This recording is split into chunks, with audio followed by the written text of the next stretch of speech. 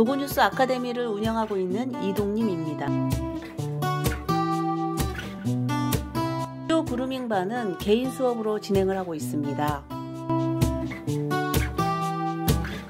수요일은 벨라맘 수업을 하고 있습니다. 오늘은 벨라맘이 6회차 쇼 미용 수업 중입니다.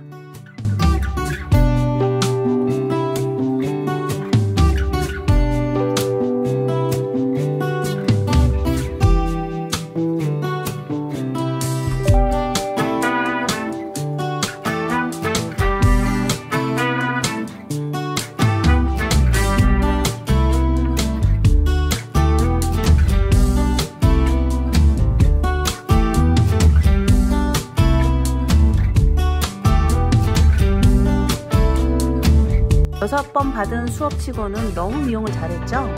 벨라맘의 열정은 정말 대단합니다.